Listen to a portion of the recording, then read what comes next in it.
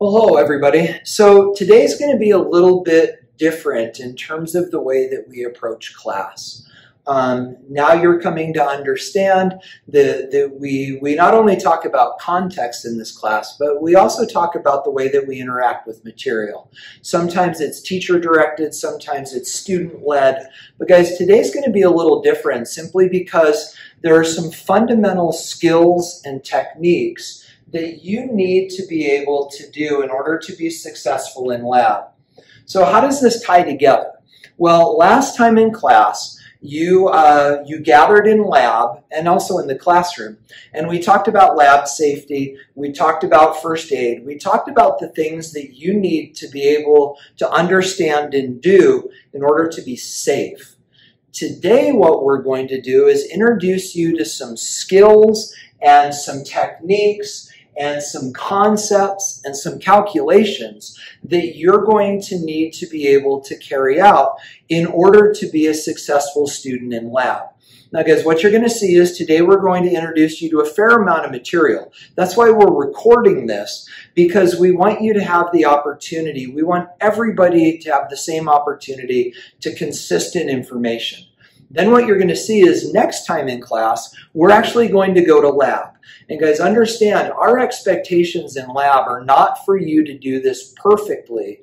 Our expectations uh, of you next time in lab are that you're taking the ideas that you learned today, you're acting safely, as we talked about last time, and you're inviting yourself to learn and experiment and try these things out in lab as we start working in lab um, next time. So you should have in front of you a copy of what we call guided notes. Um, this is a lot of information coming quickly, and so as a result, uh, we gave you the skeleton of the notes, and frankly, all you need to do is fill in the blanks. What's then going to happen is your class notes will become a terrific resource for when we go in to lab next time. So this is the way we're going to handle this. We're going to talk skills, techniques, concepts, calculations, and we're going to start with skills. So as you see in the guided notes in front of you, there are some lab equipment that you need to be able to skillfully use. The first one of those is a Bunsen burner. And so off to the right there in your notes and on the screen, you see what a properly lit Bunsen burner looks like. So then the question is, how do you do that successfully? And so guys, in order to properly light a Bunsen burner, the steps go like this. Please fill in the blanks as we go. Uh -oh. So the first thing that you're going to do in order to successfully light your Bunsen burner is you're going to shut the Bunsen burner down. I'll show you more about what that means in a minute, but that is your first step in terms of doing this well. Then step number two is to turn on the gas. Again, I'll demonstrate this in a second. Right now, we're just filling out our notes. Once you've done that, you will then open the needle valve on your burner, which will then allow the gas to flow. At this point, you'll light the burner, but what you're going to find out is that the flame is not an efficient flame. So then you will adjust the flame, and the valve adjusts the height of the flame. The barrel adjusts the heat of the flame. At that point, we'll then bring in a ring stand and show you how to marry the two together. And then when you're done, you will shut off the gas at the valve, and I'm sorry, at the, well, at this valve, rather than the valve that's on the Bunsen burner. Okay, so bringing these ideas together, this is the first skill that you need to possess um, as a result of today's time together. So this is what this looks like. In our labs, we have Bunsen burner gas um, taps. And the way that this works is anytime the handle is or perpendicular to the nozzle, it's off. So this is off. Can you see that okay? Yep. And this is off. But when they're aligned parallel, this is on, and you may be able to hear the gas flow. We're going to shut that off for right now, just so we don't fill the room with gas. But here's what you're first going to do. And guys, please do not be hesitant to handle these burners. Pick them up. Be careful if they're hot, but pick up the burner. And to shut down the burner, what you're going to do is you're going to screw the needle valve all the way shut. And then you'll notice down here at the bottom of the burner, there are, can you see the vents? Yeah. You'll, you, there are vents here that are currently open, and you will turn this metal sleeve so that the vents are closed. This is now a shutdown burner. At that point, as I showed you before, you will turn on the gas, and at that point, it's time to light the Bunsen burner. Now, we do not use matches to light the burners because then we end up with matches in the trash. And that causes problems. So we're going to use a striker to light the Bunsen burner. Here's how to do this properly. And guys, seriously, this matters.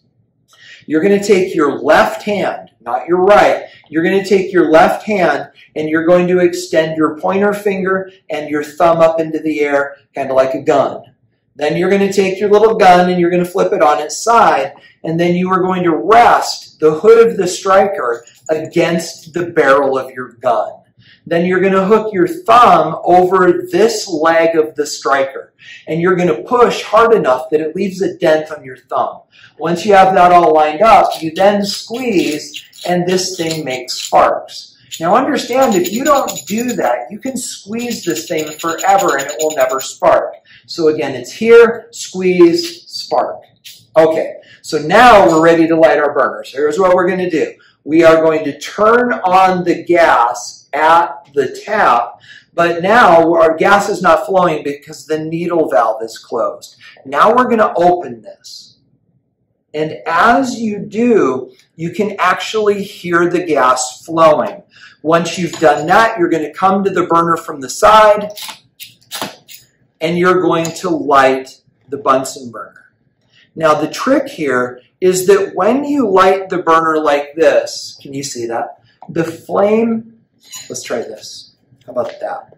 It's a bit better. A Bit better. The flame is actually flickering. And that is not a hot, efficient flame. So at this point, we need to adjust the flame. And you do that with the valve and the barrel. And here's how you do that.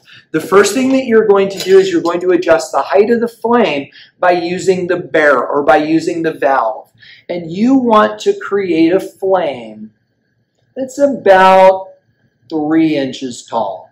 Once you've done that, we've adjusted the height, but now we need to adjust the heat. And what you're going to do is you're going to grab the outer sleeve around the barrel and you're going to twist it until that flame collapses and you've got a much tighter roaring flame and that flame, ooh, that's hot, is about an inch tall and it actually looks like this, where you've got an inner flame and an outer flame and the hottest part of this flame is actually right here at the tip of the inner flame. Now my flame's a little too short, so I can come at the barrel or the needle adjustment and I can open this a little bit more, making the flame a little bit taller, and that's the flame that we're looking for. You should hear a roar as you do this. Now, once you're done uh, with that, it's now time to introduce a ring stand. So this will be there at your table as well, but what you want to do is adjust the ring stand prior to trying to use it. So you'll take off the wire gauze, and you will then place the lit Bunsen burner on the ring stand then your goal is to move this ring up and down until the ring is level with the hottest inner blue part of that flame. Then at that point, you reintroduce the wire gauze, and then you're all set and ready to use the burner for heating. Now, when you're done with that, it's now time to shut the burner down do not shut the burner down here at the needle valve. These are actually not gas tight and they'll leak. So when you shut this down, you shut it down here at the tap. Closing that completely shuts off the gas. Please notice that we never use this gas tap to adjust the height of the flame.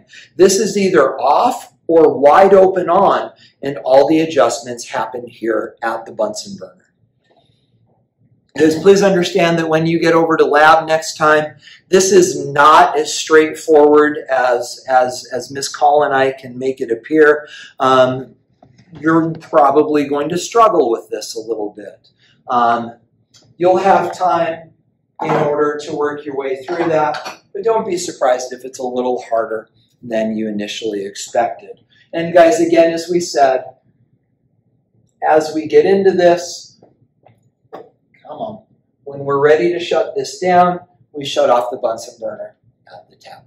Okay, so now moving down the list, uh, we'll come back to this later. These are also things that we talked about in the measurement activity, so it should be familiar to you, but let's just make sure we're clear. When you are using a digital balance, again, we talked about this, um, you need to understand some important concepts. First of all, this we never put chemicals directly on the balance. Whether it's a liquid or a solid chemical, we will always use weighing boats to protect our balances. Uh, in addition to that, um, we always zero the balance uh, by hitting the re-zero button. So use the zero button to re-zero the balance or remove the mass of a container. So if we want to measure the mass of something and we need to put it in a weighing boat, we'll place the weighing boat on the balance, we'll hit zero to re-zero the balance, and then we'll uh, weigh the object. Now guys, in addition to this, and again, we've talked about this before, because our balances are digital devices, we do not estimate one decimal place because it's not by comparison. Now, guys, one other important thing to mention before we move past balances, and it's not in your notes, but we need to mention this. Never put hot things on the balance. Um, these balances are very temperature sensitive. The, the, the rule of thumb is this. If you can't touch it, you can't weigh it. And we'll talk more about that when we go to lab next time. Okay, moving along then, we now need to talk about another measurement device. This is what is called a graduated cylinder.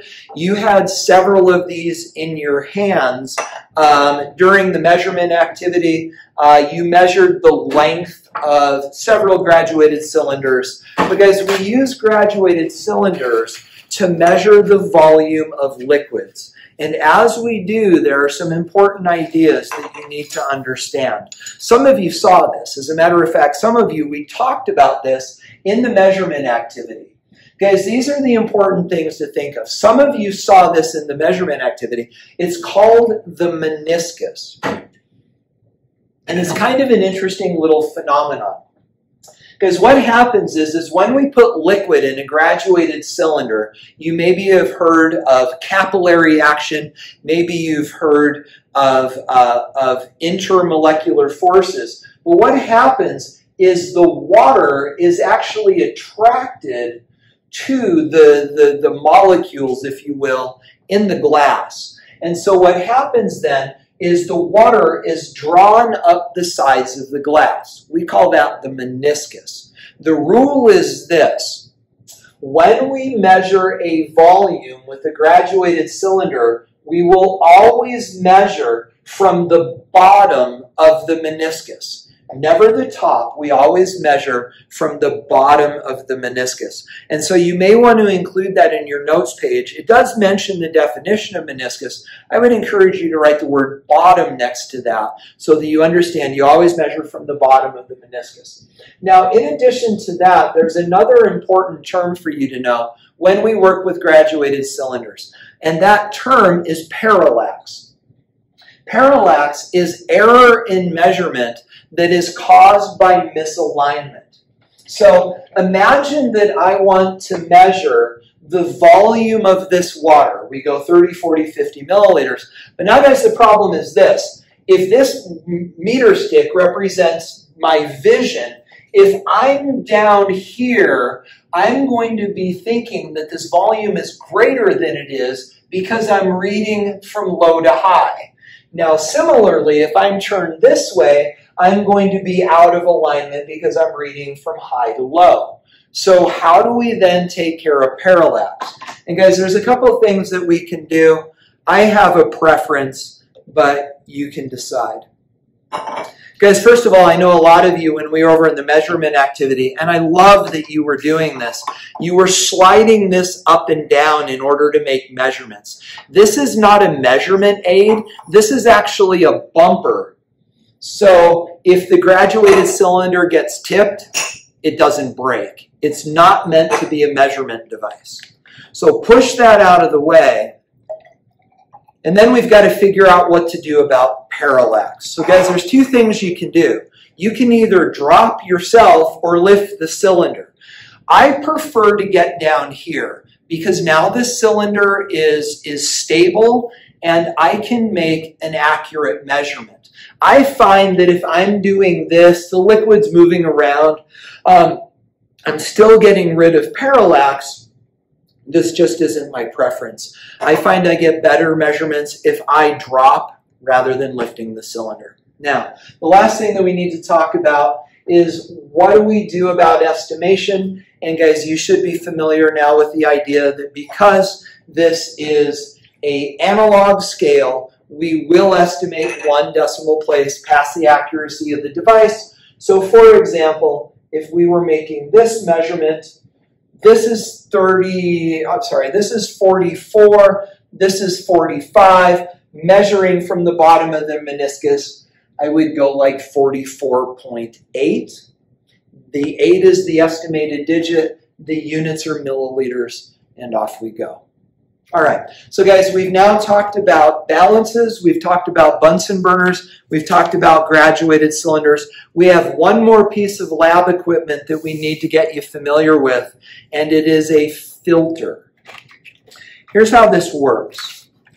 Um, we use filters to separate solids from liquids. This is a piece of filter paper which will eventually go in this funnel.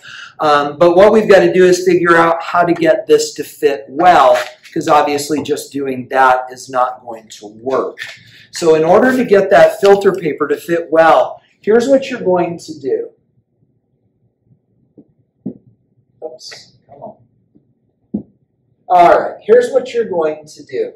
These are the steps. And you have these in front of you, but let's go through them one at a time. So the first thing you're going to do is you're going to fold this piece of filter paper right in half. Make a half circle. The next thing you're going to do is do that again, and you are going to make a quarter circle. Then what you're going to do is open up pleats one and three. If you look at this on the end, you'll notice that you've got four pleats. Now the trick is if you reach between numbers two and three, it just unfolds. So what you've got to do is get your finger in here so that you've got one pleat on one side and three pleats on the other. Once you've got your pleats separated, you are then going to clip the corner of the outer pleat. So we got this dangly thing over here, and you are going to rip the corner off of the dangly thing. We'll show you why in a minute. Then at that point, you put this in the funnel and you get it wet. So this will now fit in the funnel, but the problem is, is if you let go, it springs out.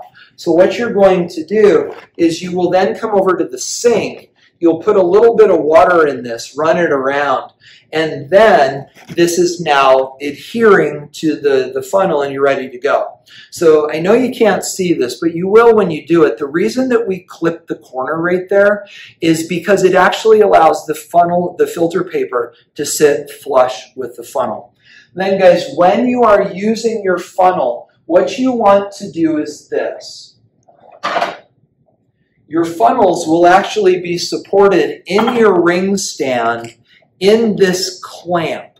So what you will do is you will actually take the neck of your funnel and you will slide it through this clamp and that will support it. Then you can pour mixtures of solids and liquids through this. The solids get trapped in the paper, the liquid passes through. You have to be careful though that you don't overfill this because if that mixture gets above the filter paper, it will flow around the paper and you're going to end up with solids coming through and you're going to have to do it over. Okay, so this then is the end of all of the skills that we need to talk about. We talked about Bunsen burners, balances, graduated cylinders, and filtering. These are all things that you're going to do in lab next time. Again, guys, the expectation is not that you're perfect, but the expectation is that you're trying intelligently. All right, so now we're going to move on from there and we're going to talk about techniques. As we talk about techniques, guys, you're going to look at this and you're going to be like, Seriously, you're going to tell me how to pour stuff? Well, guys, we are. Because the way that we work with um, chemicals in a, in a lab setting is different than just pouring yourself a drink. So how do we do this? Well, guys, we're going to talk about dispensing liquids. And as we talk about dispensing liquids, there are some important things that you need to keep in mind. I'm going to show you, I'm sorry, I'm going to, I'm going to give you the notes, and then I'm going to show you what we're talking about. So, guys, first of all, this.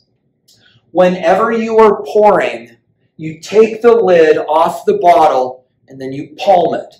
I'll explain.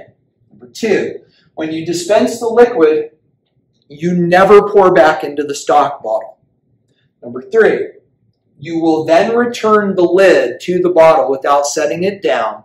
And then, guys, we will always measure volumes in graduated cylinders. So, guys, let's go through those ideas and let's make them make sense. So, what does all of this mean? Well, first of all, this. Guys, when you get over to lab in a couple, well, next time, you're going to see that there are going to be bottles sitting out around the lab. Let's just grab a couple more just to sort of drive home the point. So guys, you're going to have bottles sitting out in the lab. And so say, for example, that you need the contents of this bottle. Well, here's the problem. Imagine that you come up and you grab this, and then somebody comes up and they grab this, and then somebody else comes up and they grab this, and then somebody else comes up and they grab this, and at the end of the day, we got a problem because we don't know which lids go with which bottles. And when we recap these bottles, we could get them wrong and contaminate everything in the bottle. We are not going to put ourselves in that position. If you make this mistake in a college lab, they will just charge you whatever it costs to replace whatever's in the bottle. So how do we avoid the mistake? And it's simply this. Let's get these out of the way and let's focus on one of these bottles. So the way that we avoid making the mistake is this. Say that we need to measure out a volume of this liquid. This is just water. Um, but what we're going to do is this. We're going to take the lid off of the bottle. We are never going to set this lid down. It goes in the palm of our dominant hand. Then you will grab the bottle and you will palm the lid between your hand and the bottle. They never get separated. Then what you're going to do is you're going to pour for yourself whatever volume of this liquid you need. Then you set this down, screw the lid back on the bottle, and then you're done. No cross-contamination. Now, keeping with this idea of contamination, what about this? So say that you get too much of this liquid. If you get too much of this liquid, I know we're thinking conservation, but guys, you never pour back into the stock bottle because this could be dirty. And if you do this, you've just contaminated everybody else's samples. So you never pour back into a stock bottle. So if you're not going to pour back, where does this go? Well, it depends. If it's safe, it goes down the drain, the extra. If it's not safe, it goes in a waste beaker and then we dispose of it carefully. Then guys, also this, when we measure volumes in this class, we never use beakers. Beakers are not accurate. They do have lines on the side, but they're not, they're estimates. They're not meant to be accurate. When we're measuring volumes, we always use graduated cylinders. Okay, so now moving on from there, we need to talk about another process called transferring.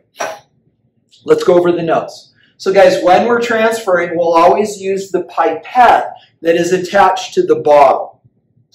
The, the way to do that is by squeezing the pipette to bring the liquid up into the bulb. Some of you, when you were at station 15 over in the measurement activity, I came up alongside you and showed you how to do this.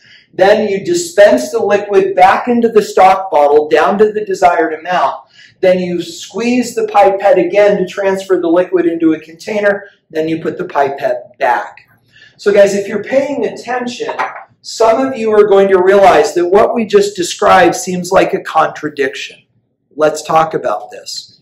So guys, here's how this goes. When do we transfer?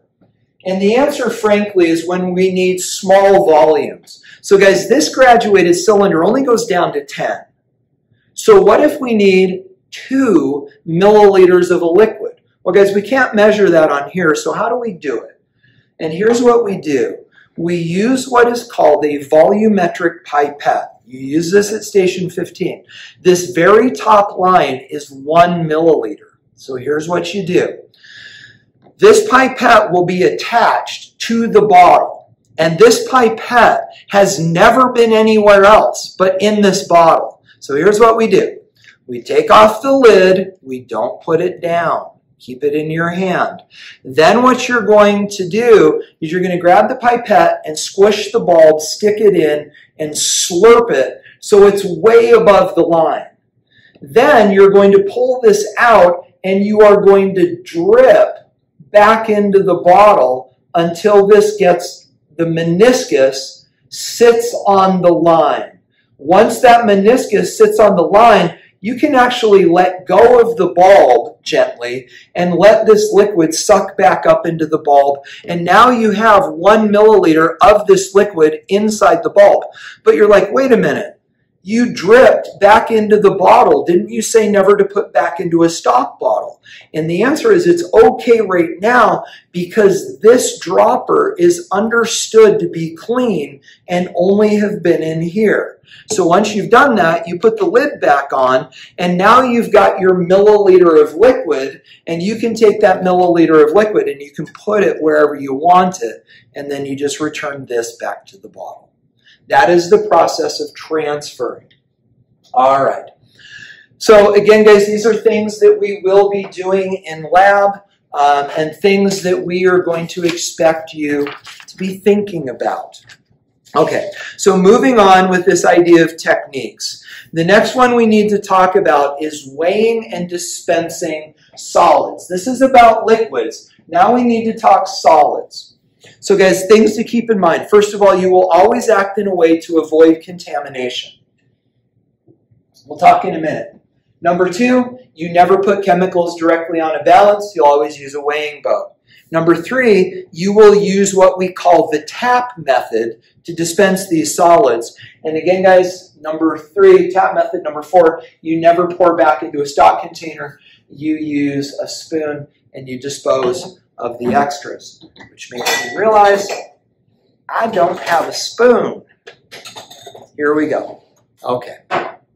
So let's talk about what all of this means. So guys, this is just ordinary table salt. And let's grab a balance. And say, for example, we need to weigh out a gram of salt. How are we going to do this? Well, guys, first of all, we are not going to put the salt on the balance. You understand that salt causes things to rust.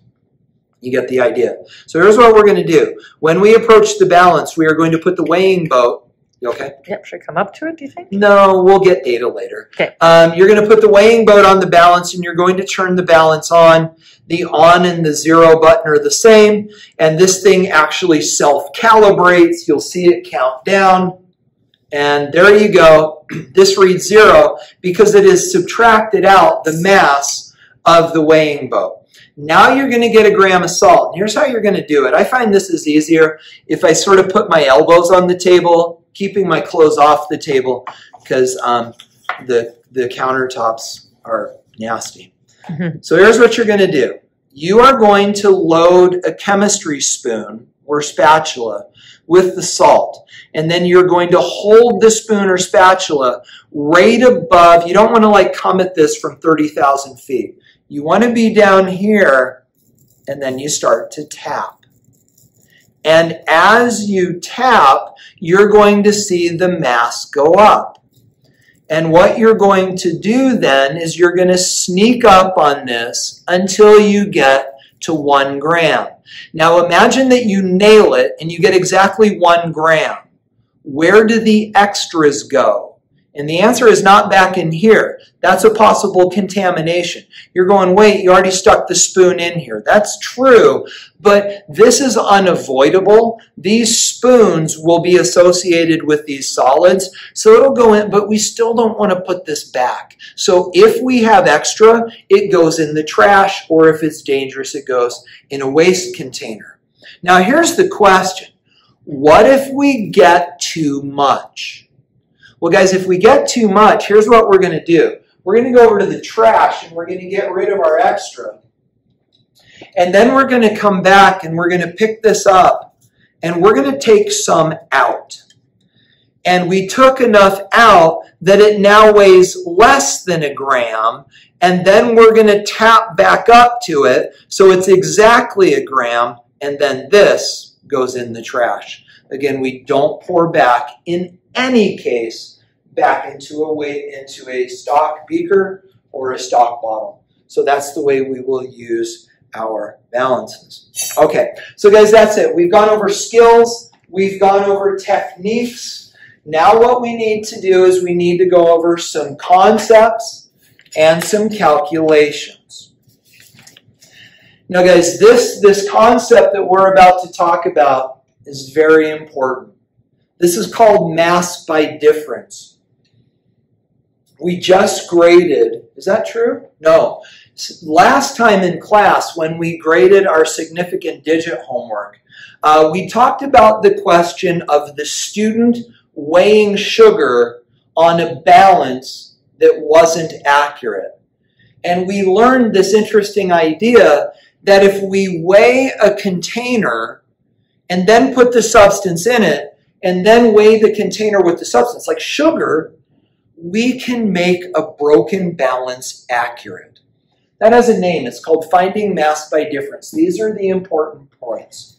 As we learned last time, we learned that our masses can be incorrect due to errors in the balance. So we talked about how to overcome this issue so that our masses are correct. Again, the idea, the concept, the principle we learned with the sugar in the beaker. But guys, this is what is called mass by difference, as I said, just like question, I think it's now question two, mm-hmm. right? Yep. Isn't it? It's question two on the back of the homework. Oh, not that we graded today. Will it be? No, it's the homework that we graded it's, two class periods yes. ago. Okay. Mm-hmm. All right. So, guys, let me give you an example. Let's find the mass of some salt. So, as we do this, we understand that we could just simply put a weighing boat on the balance, hit zero, put the salt in there, bang, we're done.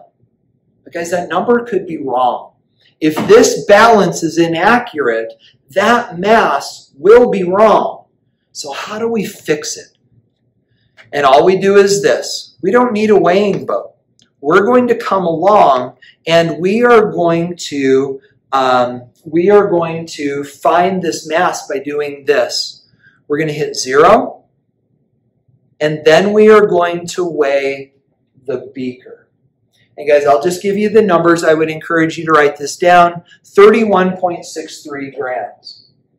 So, in your data chart, let's record, oh, whoopsies. Let's record that mass. And the mass is 31.63. Don't forget units. That's grams. Then um, the next thing that we need to do is we need to add some salt. So let's say we need a gram of salt.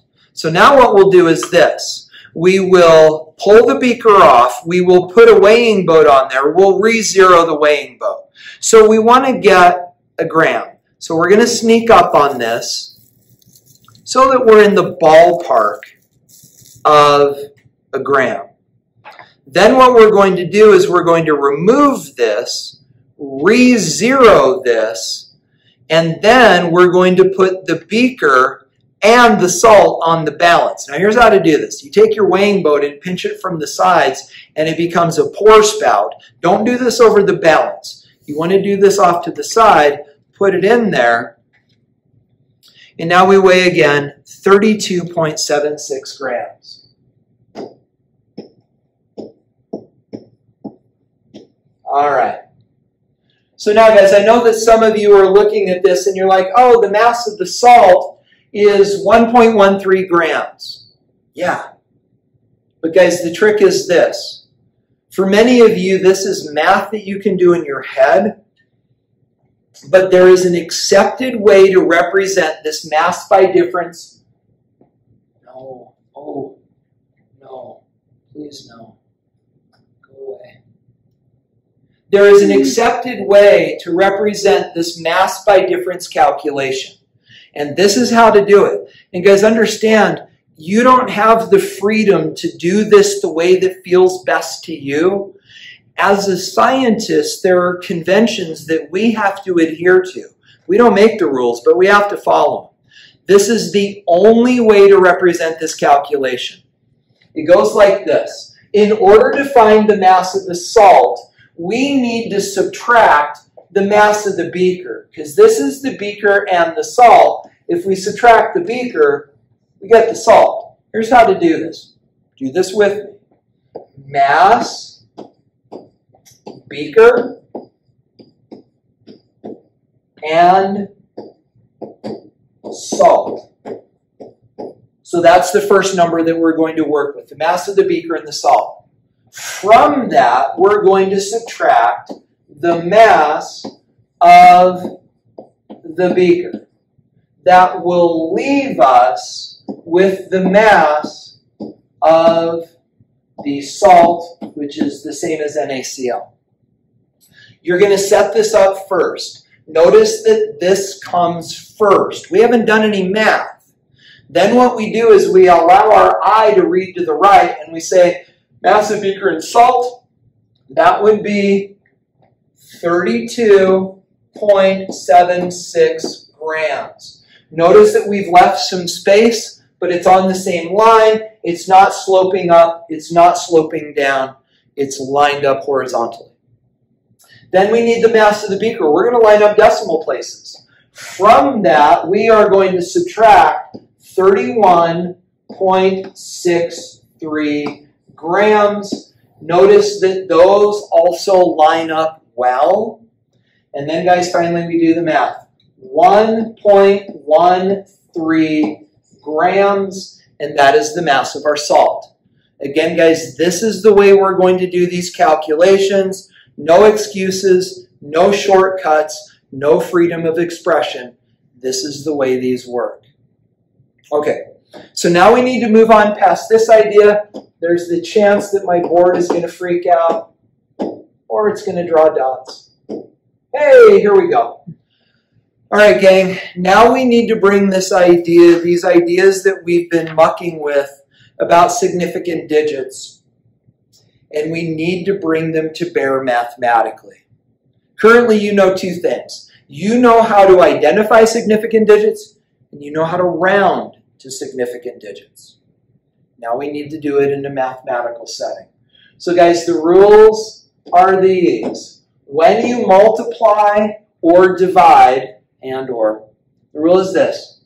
You get as many significant digits as in your answer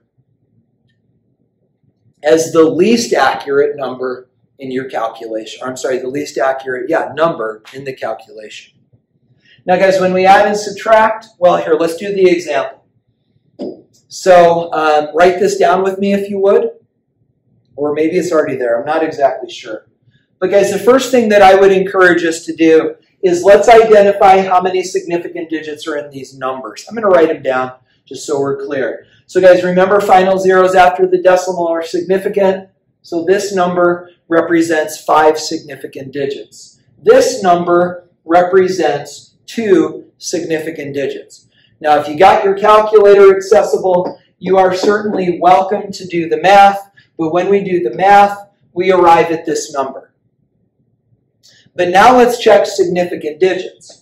And guys, when we look at significant digits, we see that this number has got five significant digits. And that's not okay. It can only have as many significant digits as the least accurate number. And guys, the least accurate number has two. So there's one digit, there's two digits. The next eight tells us to round up. And this number rounded up to two significant digits is 290 grams. That is the answer to this calculation. That is how we use significant digits. The idea is that the answer can't be more accurate than the least accurate measurement. Okay. So what about in the context of addition and subtraction. Guys, significant digits do not matter. Uh-oh. Significant digits do not matter in addition and subtraction. Decimal places do. So let me show you. Same numbers, but now we're subtracting. So now we need to count decimal places. Here, obviously, we have two decimal places. Here we have one decimal place. Now, guys, we do the subtraction, and we arrive at this number. So we've got 0 minus 0, 0, 5 minus, you get the idea. But we only get as many decimal places as the fewest decimal places in the setup, and that would be 1. That means the answer only gets one decimal place, and that would be 123.2. Because again, you're learning about so many little details. Guys, chemistry is a very, very detail-oriented subject. Right now, it may feel overwhelming. You're like, oh my gosh, we've got zeros and transferring and folding paper and lighting fires and now all of this mathematical stuff. Because these are things that we want you to grow into over time. We don't expect you to do it perfectly, but we expect you to demonstrate that you realize there is a perfect way to do it. Okay. So now, guys, one last thing, and uh, that, that will be our time together. So, guys, when we collect data in lab, we've talked about the idea of significant digits in accuracy. But we actually measure accuracy. And when we measure accuracy, we call it percent error. You have the equation in front of you, so I'll just give it to you. Guys, percent error is this. It is measured minus accepted. I'll tell you what that means in a minute. Divided by accepted. But guys, let's make sure we see this. These lines right here are not just vertical parentheses. Mathematically, they mean absolute value, and hopefully you know that means just not negative. And then, of course, as it says in your paper, this is multiplied by 100. So what a measured and accepted? Well, guys, these are the definitions. Your measured value is the value that you measured or calculated. Some people call it the experimental value. This is the number you're checking the accuracy or the correctness of. The accepted value is the correct answer. So really what you're doing is you're comparing what you did get with what you should have got. Then you're dividing by what you should have got. Here, let me do that rather than pointing with a pen. You're taking what you, you got. This is your number. You're comparing it with what you should have got. And you're doing that by subtraction, which means you're finding the distance between what you did and what you should have did. then you're going to divide, whoa, you're going to divide by what you should have got and then multiply by 100. So let's look at an example. And it goes, oops. Come on, little fella. Hey, there we go. It goes like this. This is really what you're going to do in lab next time. It says in lab next time, you expect to collect 1.03 grams of salt. At the end of the lab, you only collect 0.78 grams of salt. What is your percent error? So guys, in order to solve this, let's start by writing down our equations. Our equation. So guys, for some of you are like, do we have to write down equations? Yeah, every time, no excuses, no apologies. Every time we believe in doing quality work, and quality work means not cutting corners. We're going to write down equations every time. Then, guys, from there, we need to move along and we need to work through this calculation. So, the first thing that we need is our measured amount. How much salt did we actually get? And the answer is right here. We actually got 0.78 grams of salt. So we're going to rewrite our equal sign. Um, we understand the percent error is equal to, and our measured amount give myself a little space to work. Our measured amount is 0.078 grams of NaCl. Now we need to know our accepted amount. How much salt did we, or I'm sorry, how much salt should we have received? Well, guys, we expected to get 1.03 grams of salt. That is our accepted value. So minus 1.03 grams of salt. Then guys, that is also the denominator of our fraction, 1.03 grams of salt. And then all of that will be multiplied by 100. You'll notice that I left off the absolute value bars. Let's throw those in as well. Now, gang, this is where you've got to be super careful. Just a moment ago, we talked about the rules for rounding for addition, subtraction, multiplication, division. So, thinking about order of operations, we start in the numerator. This is a subtraction. So I'm going to switch colors so it stands out. But guys, details, right? When we do subtraction, it's decimal places. Here we have two decimal places. Here we have two decimal places. So we get two decimal places in our answer. If one of them was smaller, that's what we would get, but it's 2 and 2. So we're going to go 0.78 minus 1.03, and I get negative 0.250. Well, what we're going to do is we're going to ditch the negative, and that's going to be 0.25 grams of NaCl. Notice that we've got two decimal places, and we drop the negative.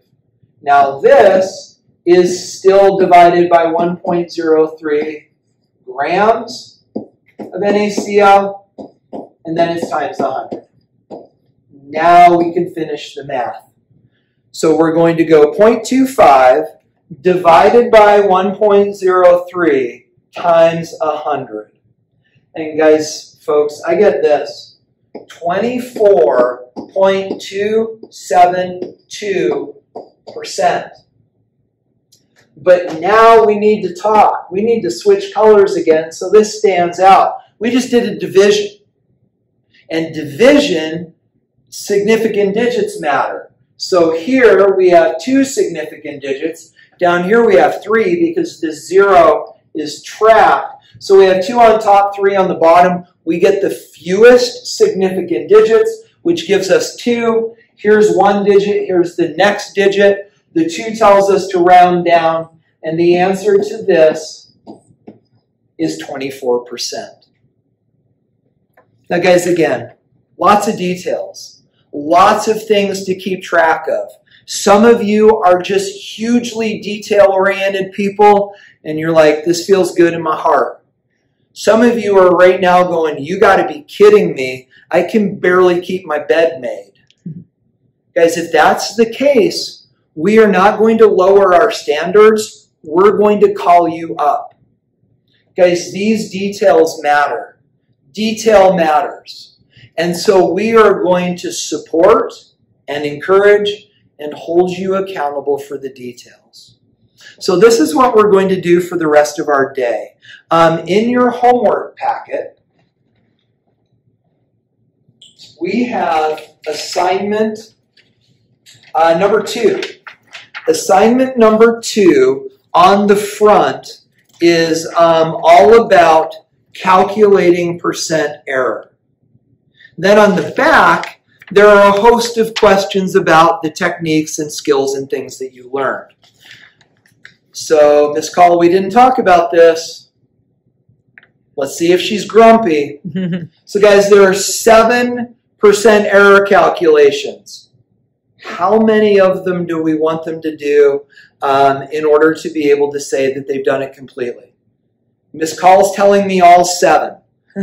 no, Miss Call, no, please no. Four? Four? I'm good with four. All right, we're going four. Guys, do the first four of these. So in order for you to fairly say yes, done completely, questions answered, you've got to be gold on the first four. The rest of them can then be practice, your call. Then on the back, we're going to answer all of these, and we will get together next time. We will review this homework assignment, and then, guys, you're going to lab for the first time in your life, and it's going to be it's going to be a good, good thing. So, guys, let's uh, let's now transition into our new context. We're no longer teacher directed. We are now in a student directed work time. You are welcome to work with the person closest to you, next to you, not moving around, not going to other places. That person next to you in hushed voices. The answers will be on the wall or um, they're also available online. So guys, dig in. Let's get some good work done. If you have questions, please ask the person next to you and then your teacher. And uh, let's let's see how much of this we can get done today.